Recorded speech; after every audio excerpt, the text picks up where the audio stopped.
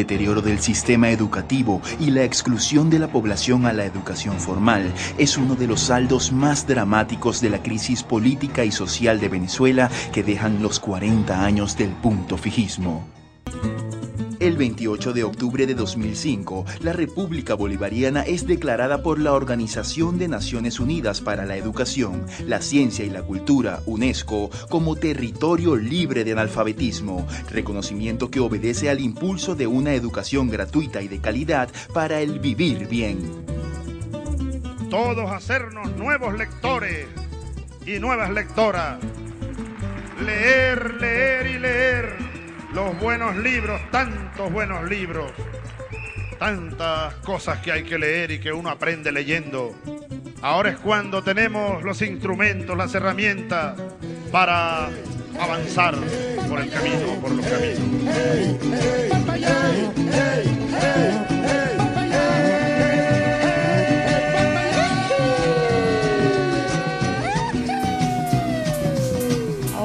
La partida del comandante Chávez seguimos cosechando los avances de su legado y para ello hacemos un recorrido por los distintos municipios del estado Falcón para conocer cómo recuerdan al comandante y qué aportes les dejó a través de las misiones, en especial con el programa de Misión Robinson. La misión Robinson fue lanzada en 2003 por el presidente Chávez a través de un convenio de cooperación con la República de Cuba para preparar a los hermanos venezolanos en la ardua tarea de acabar con la analfabetización. La misión Robinson comienza en el año 2003, el primero de julio. Primero se inicia con un pilotaje en unos estados, estado Miranda, Vargas, ya comienza todo un muestreo eh, en sus inicios y después es lanzada por el presidente eterno, nuestro comandante Hugo Rafael Chávez Fría, un, 3 un primero de julio del año 2003, ¿ya? Cuando hace el llamado de todo ese ejército robinsoniano, de todas estas personas, a asumir voluntariamente, a ayudar a sacar de la oscuridad todas estas personas que se encontraban en esa situación. Entonces, bueno, es asumido con un voluntariado, ¿ya? Para hacer, emprender todas estas tareas. Este, esta tarea la llevó en sus inicios eh, el INSE. Eh, la misión Robinson tuvo como objetivo principal erradicar el, analfabetismo en Venezuela, este, permitir que aquellas personas jóvenes, adultos que no habían tenido la oportunidad de participar en la educación formal, este, lograran aprender a leer y a escribir. La misión Robinson nace de aquel despertar de la mañana cuando se, se, sale a la calle a hacer el censo de la misión Riva. Cuando se sale a hacer ese censo de la misión Riva en todas las plazas de Oliva, se capta para ese entonces que había personas que se nos acercaban hasta las plazas cuando se estaban censando y nos decíamos, nosotros queremos ser bachilleres, pero no tenemos el sexto grado. Trabajamos con televisores, videos y con cartilla. Y una de las experiencias finales del proceso de formación en la misión Robinson era que deberían elaborar una carta. Porque más que todo este proceso de que la gente aprendiera a leer y escribir era que la gente se reconociera. Y el hecho de que nosotros podamos escribir nuestros nombres es un proceso de ese reconocimiento. Que pudieran escribir su dirección, porque esto era más que darle eh, o, letrar a las personas era darle un autorreconocimiento, era un proceso como nuestro comandante Chávez siempre, estratega, pensó mucho más allá. Y al principio, cuando comenzamos con las actividades, fue muy costoso, ¿verdad? Comenzamos en una aldea, después nos fuimos para una casa de familia, terminamos en la plaza, después fuimos para una casa de alimentación hasta que por fin logramos que todos los patriotas este, culminaran su sexto grado. Eh, avanzando poco a poco, conociendo patriotas, conociendo a los facilitadores, motivándolos a que, a que se integren en esta bella misión, porque la misión Robinson es una misión, es la primera misión del presidente Hugo Rafael Chávez Fría y es la misión más bonita, es una misión de amor.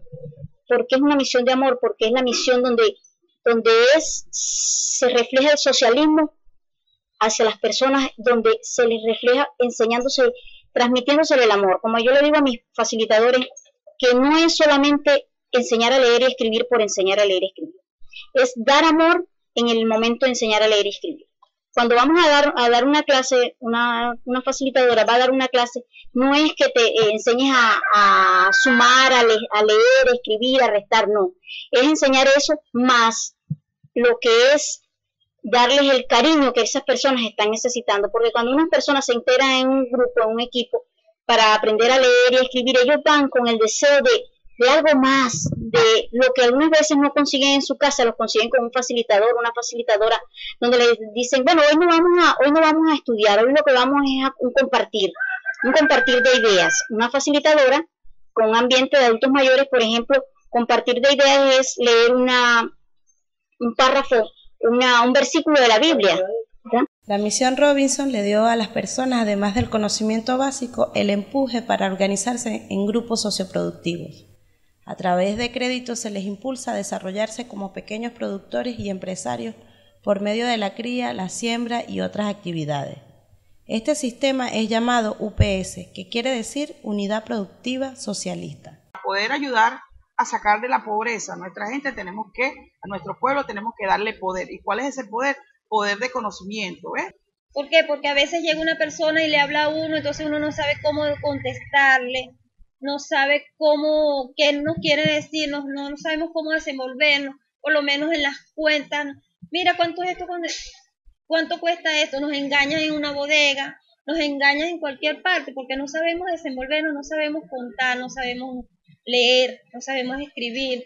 Como es, una vez en ese tránsito que ellos van a hacer, alcanzando su educación primaria, también son incorporados en el proceso productivo, a través de los socios productivos, que son unidades de proyecto de producción, donde partiendo de los saberes, de los conocimientos. Fuimos pioneros de formar esas unidades socioproductivas de la misión Robinson, bella, excelente, cuando nosotros vemos esos patriotas. En nuestro municipio tenemos una de las unidades socioproductivas y tenemos las demás que son, pero tenemos las de bloque, que es acá en San Fernando.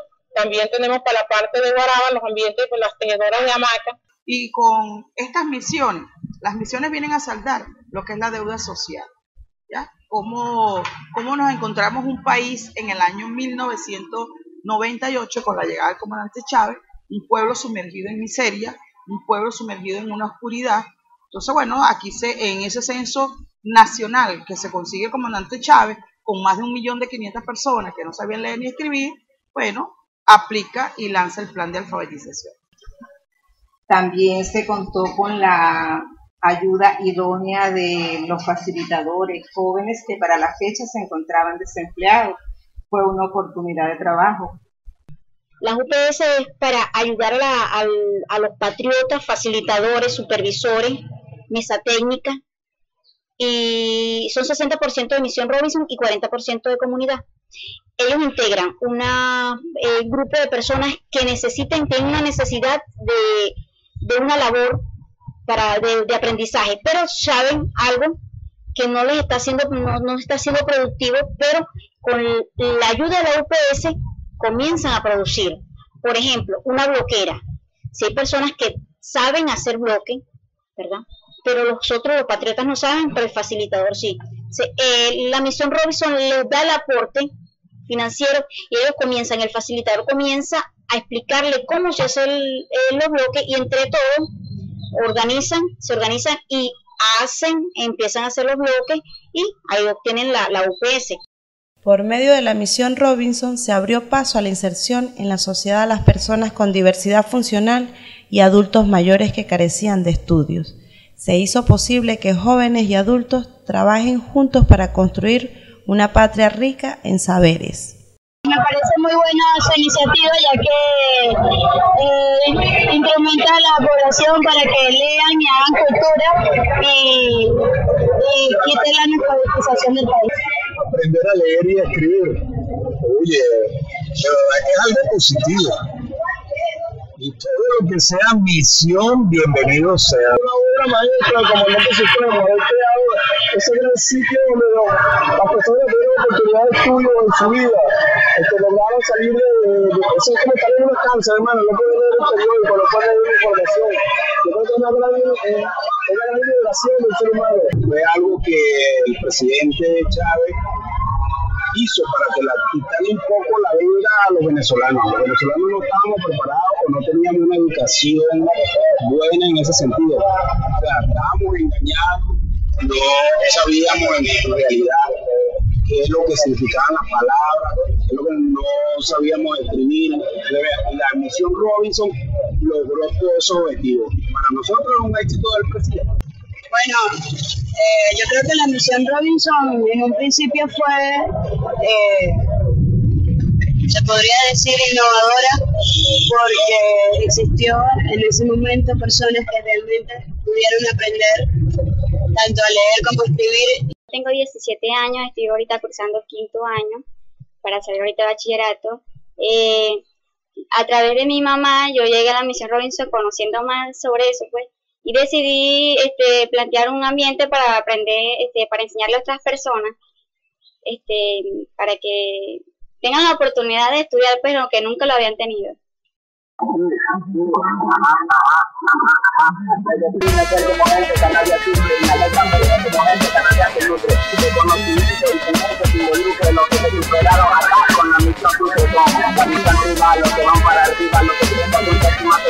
la cima, la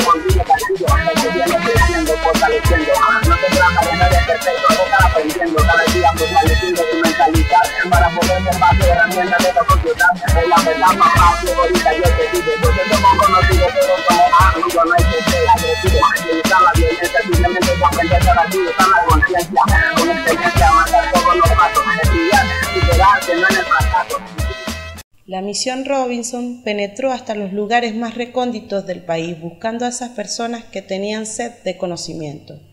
Mientras las personas de la ciudad vivían una realidad de progreso, en el campo se vivía un momento de tiniebla que finalizó con la llegada de la misión. Nació la esperanza y hoy, 11 años después, ellos cuentan la transición de esa era. Cuando yo fui niña demasiados hermanos, mi papá no tenía para darme recursos y yo me quedé en quinto grado. Era niña, que ya llegué a mis siete años que podía ir a una escuela, no pude por los motivos de que había, eran unas partes del monte, pues no, no sabía nada de, de esto, no había transporte, no había transporte y no había más nada. Entonces mis padres eran de bajo recursos y usted sabe que antes uno, cuando ya tenía una edad de 11 o 12 años, iba a trabajar, que lavar, que cocinar en leña, a jalar un molino para, Entonces por eso, y entonces uno no, no había la posibilidad de estudiar. Quedé huérfana de madre de, de año y medio y de siete años de padre. Ahí nos llevaron donde un tío y no pudimos estudiar. Cuando era niña aprendí a leer y escribir. Yo creía, quería aprender a leer y escribir, ¿verdad? Pero no podía porque donde nosotros vivíamos es un campo. Pues era un campo, ¿verdad? No había carro, era retirado, las escuelas eran lejos. Yo desde mi niñez una, una niña enferma, eh, convulsionaba y y los médicos no me daban vida para, ¿cómo le digo?, para seguir adelante, para estudiar, porque me faltaba el oxígeno en el cerebro. Prácticamente era una niña especial. Yo no, no había continuado estudiando por motivos de que yo fui operado de un oído y la ocasión fue un grano de pirafrijol que me cayó en un oído. Cada uno de los patriotas y facilitadores de la misión Robinson son ejemplos a seguir. A pesar de las adversidades, se apropiaron de la oportunidad que les dio el comandante Chávez, comenzando a forjarse un camino lleno de sabiduría. Se burlaban mío y decían, y vos vas a salir de ahí, ¿cómo Este, que ya te van a jubilar y eso no importa, yo voy a seguir. y gracias a Dios también lo terminé y después seguí en la, en la universidad, también seguían con la burladera. Hay veces que iba para clase y había uno, un señor en y me, como dos veces que lo había empezado a burlarse mío y dije, bueno, no importa, yo voy a terminar, le decía. Y gracias a Dios, Dios me permitió terminar. Desde mi sexto grado, gracias a la misión Robinson, del corte de la misión Río. Las misiones que me animaron a estudiar para que pudiera sacar mi bachillerato. La misión Robinson es una cosa que uno le, como le digo que es verdad. La misión Robinson cuando llegó a esto aquí, ¿verdad? Nosotros nos emocionamos tanto que cuando llegó al recreo decía, bien, viene una, estaban haciendo censo. Ajá, y ese censo sería para qué? Ese censo es para la misión Robinson. Mi facilitadora Lolimar Medina llegó, a, se dirigió a mi casa un día, una tarde, a las seis de la tarde, un día me, recuerdo porque era las seis de la tarde, y me dijo, ando buscando unas patriotas para que, ay, mire, yo estaba en mi cocina y no supe si estaba haciendo la comida. Yo dije, ay, yo me senté con ella a escucharla. Me mandaron a buscar con los televisores grandotes, los videos, los formatos. Nuestro presidente también vino a que eso, que ya no, ya que seamos todos por iguales, que seamos todos iguales, no tanto el, tanto el indígena y tanto el campesino o el, el otro que no ponía, que no podía estudiar, sino que todos tenemos un derecho de estudiar. Quien quiera estudiar, no importa que sea la edad que tenga, pero el interés es de uno, viejo, joven, adultos mayores, pero sí queremos que lo hagan. Y con aquella energía nosotros emocionados, sí lo vamos a hacer y lo logramos. Y por eso estamos Me inscribí.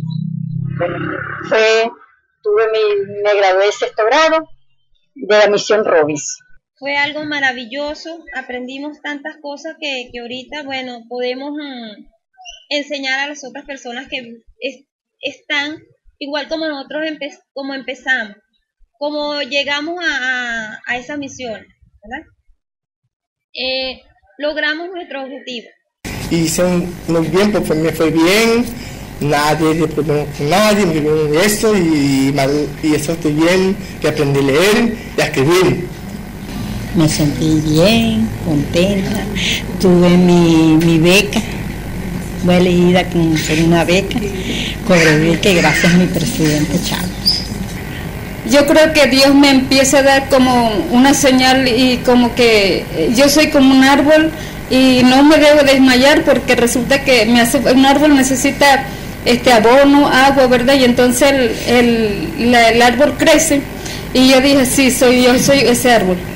Yo tengo que crecer porque tengo mis hijos y si yo me desmayo, ¿dónde llegan mis hijos? Empiezo a estudiar, a dar el paso de estudiar es un privilegio de, conocer lo que uno se puede valorar, ¿verdad? Y valorar nuestra familia.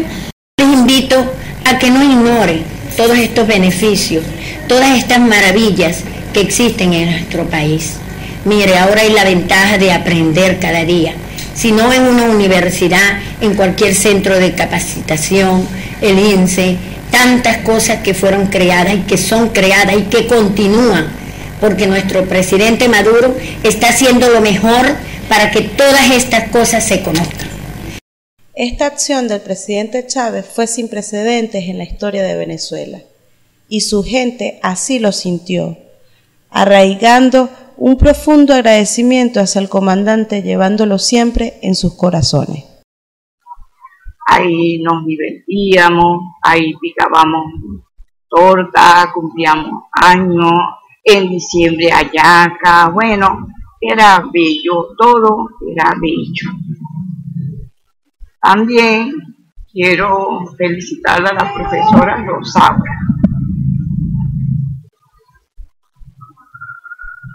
Bendición Robles. Siempre ella me motivó. Fui delegada. Bendición Robles fue.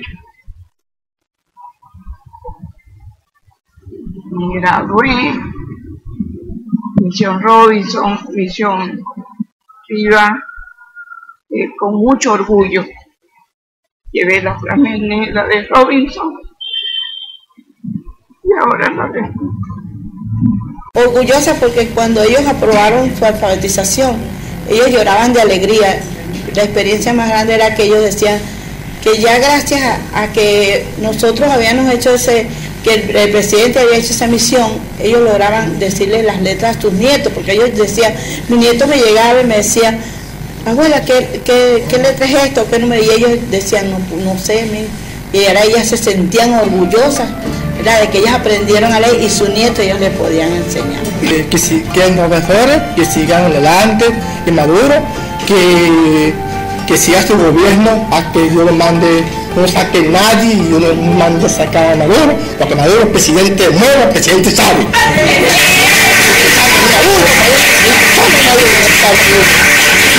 Por supuesto.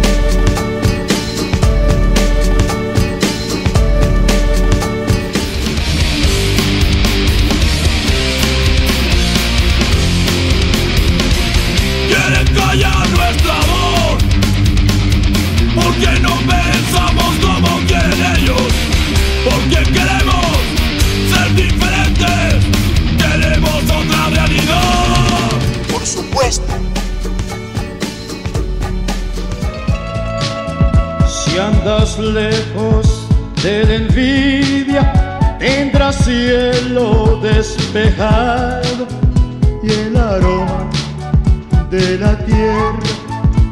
Después que llueve en los campos, el calor,